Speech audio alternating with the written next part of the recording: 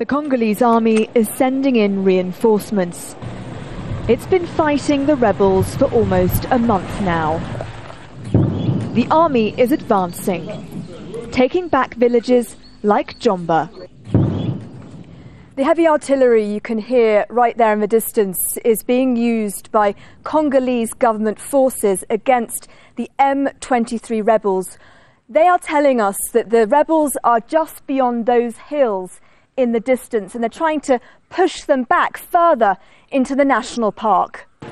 Two months ago, the rebels were themselves soldiers in the Congolese army. They rebelled because they feared losing their privileged positions given to them under a peace deal. When that armed group was integ- integrated in 2009, it was able to maintain a very strong parallel chain of command here in the Eastern Congo that was not um, acceptable, really, to many Congolese army officers. So it was a peace deal that was bound to collapse sooner or later. The National Army is made up of many former rebel groups. Its soldiers are poorly paid and equipped.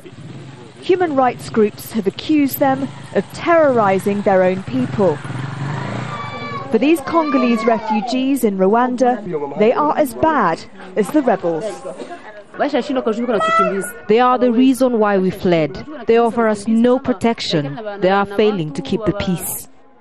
The United Nations has a mandate here to protect civilians.